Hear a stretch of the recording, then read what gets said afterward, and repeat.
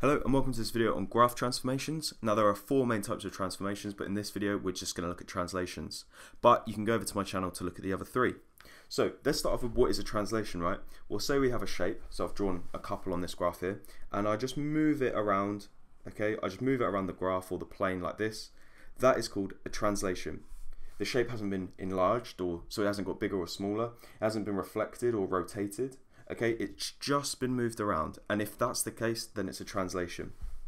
So how do we describe these translations right? Well we use vectors. So vectors look something like this where we've got x and then y okay?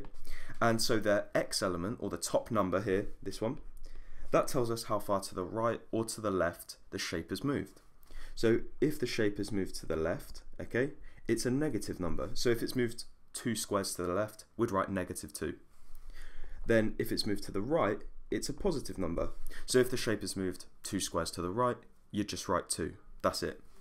This bottom number here, this y, tells us how far up or down the shape has moved, okay? So if it's moved up by 2 squares, then we write just positive 2. So if it's moved upwards, it's a positive. If it's moved down, okay, it's a negative. And so if it had moved down 3 squares, we'd write negative 3. And that's pretty much it. So let's have a look at this example here. So we might be asked, describe the transformation that takes you from shape A, which is this one, to shape B, which is this one.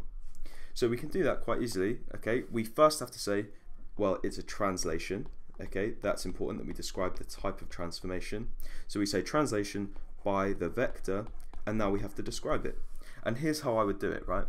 Pick a point on the shape, okay? So I'm gonna pick a corner, okay? Pick a corner on one of the shapes, okay? And because we're going from A to B I want to see how can I get to that same corner but on shape B? So remember the first point of our vector the first number is how far left or right we've moved. So how far to the right or left do I have to move this point here to get it in line with the one on shape B? Well I have to move it over once twice. I have to move it twice to the left which means it's a negative so I put negative 2 okay?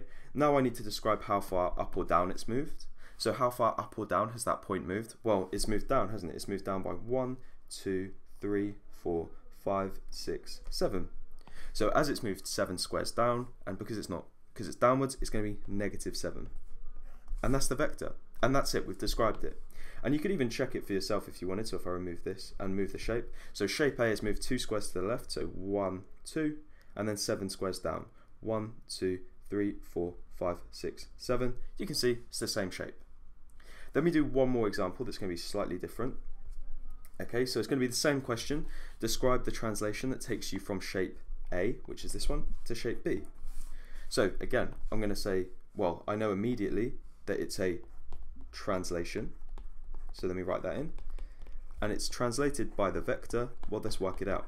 So again, I'm going to pick a corner on both, and I'm going to see how to get from corner of A to the corner of B. So how far left or right has it gone? Well, it hasn't. It stayed exactly in the same spot. So that I just write 0. And now how far up or down has it gone? Well, it's gone down 1, 2, 3, 4, 5, 6. So it's negative 6. And that's it. That's how we do translations. So uh, go over to my channel for more YouTube tutorials or go over to my TikTok for more worked exam questions. Thanks for watching.